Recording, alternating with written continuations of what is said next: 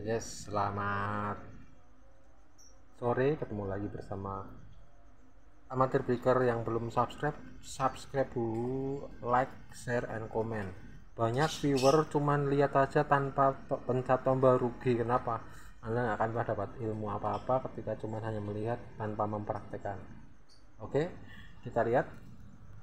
Di sini ada beberapa anten jenis yang sama ini saya lagi menggarap pesanannya yang belum saya coresin. Ini bahan dasarnya telek V2R lokal Taiwan ya. Ini bahan dasarnya bagus guys V2, V2R minta setting di kepala satu.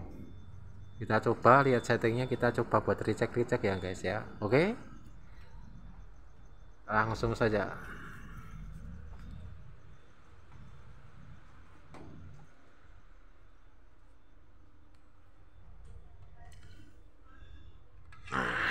kita coba lihat battery cek dulu ya.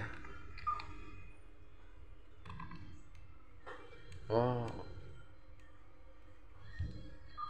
Ngasar guys. Kita lihat matnya aja. Sepi. Kita dilihat karena mat ini di mat di 4 eh, di 100 kita coba lihat di atas mat enggak? Di 300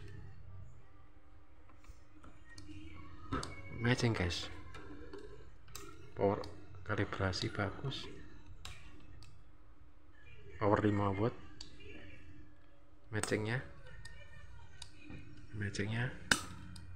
Ini guys luar biasa nih guys. Kita lihat langsung kepala dua ya. Kepala 4 dulu yang penasaran rakit Yusotek kepala 4 enggak mat-mat pakai terek V2R lebih enak. Kenapa 3 liter tap tengah agak minggir dikit baru ke ground. Kita lihat kepala 400 ya 400 kita pakai 5 watt aja.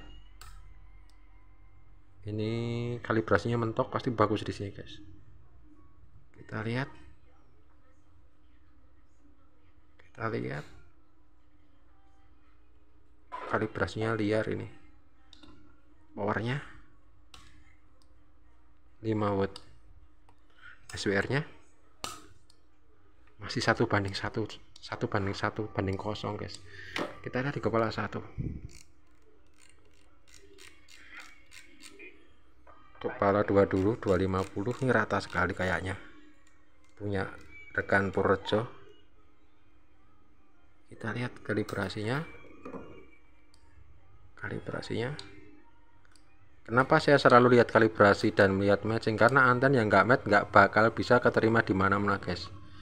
Jadi komplain kenapa nggak buat recheck? Kalau anten bagus sudah match sudah lari apa RF nya lari buat ngebreak cari posisi yang bagus pasti bagus ya. Jadi kalau jangan kalau satu rakit anten buat recheck ke mana ke mana ke mana udah terbukti jenis seperti ini bisa. Yang jelas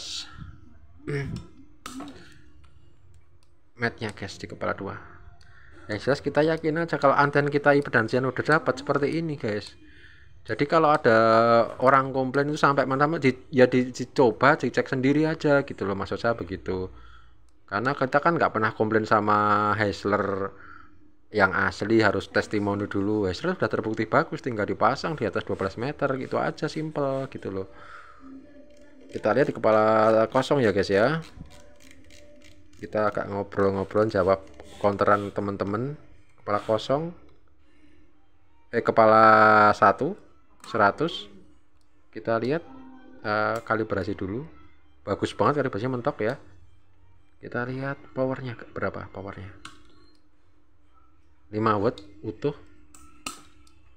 Masih mat ya kesimpulannya anten yang sudah mendekati impedansi 50 ohm dan dia mempunyai RF balik di sini juga sama itu kalau dinaikkan mencari posisi yang tepat dengan ketinggian yang tepat minimal 6 meter pasti akan bagus. Jadi kalau kita merakit anten setiap kali ngerakit seluruh recheck tiap kali recheck ya pabrik capek itu ada 1000 anten di gudang suruh buat recheck semua gitu loh. Buat teman-teman ya eh, jangan patah semangat untuk eh, berinovasi. Yang jelas saya simpulkan menggunakan bahan V2R lebih bagus guys.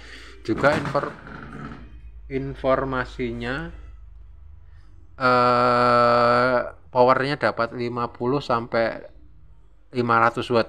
Jadi antena ini buat pakai booster gitu ya buat tabrak-tabrakan. Nggak apa-apa kalau yang V, V2R basicnya.